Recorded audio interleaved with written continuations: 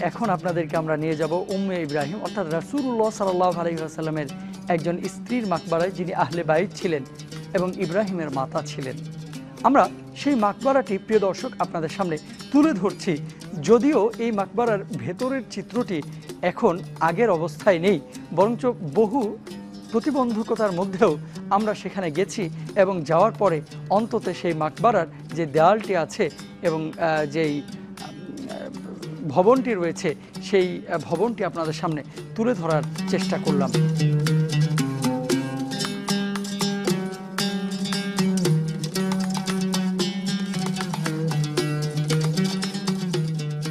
আমরা এখন যে জায়গাটি দেখতে পাচ্ছি, এটাই হচ্ছে মাকবারায় উম্মে ইব্রাহিম, অর্থাৎ রাসূলুল্লাহ সাল্লাহ আলহিহাসাল্লামের একজন পরিবারের সদস্য, যিনি রাসূলের স্ত্রীও ছিলেন তার মাকবারা।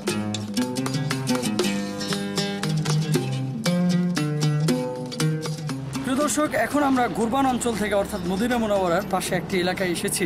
আমার পেছনে যেই দালানটি দেখতে পাচ্ছেন, যেই দেয়ালটি দেখতে পাচ্ছেন, এর ভিতরেই রাসুল্লাহ সাল্লাহ আসলামের একজন স্ত্রী উম্মে ইব্রাহিম শুয়ে আছেন।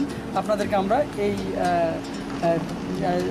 মাকবারাটি দেখাবার চেষ্টা করছি। চলুন দেখে আসি।